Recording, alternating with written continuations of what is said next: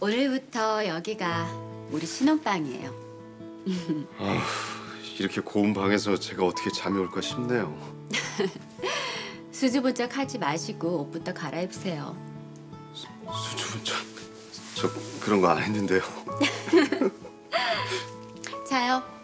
여기 새 신랑 잠옷.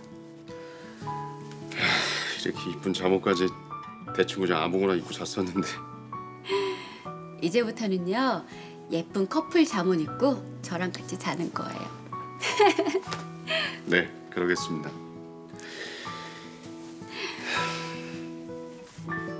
결혼식이 너무 조촐하고 신혼여행도 못 가서 좀 섭섭하죠? 안 해요. 오늘 저는 마음이 아빠란 우주를 선물 받았는데요. 이보다 더 기쁜 일이 어디 있겠어요. 고마워요 송아 씨. 저 잘할게요. 누구보다 이쁜 가정 만들기 위해 최선을 다할 거예요. 네, 사랑해요.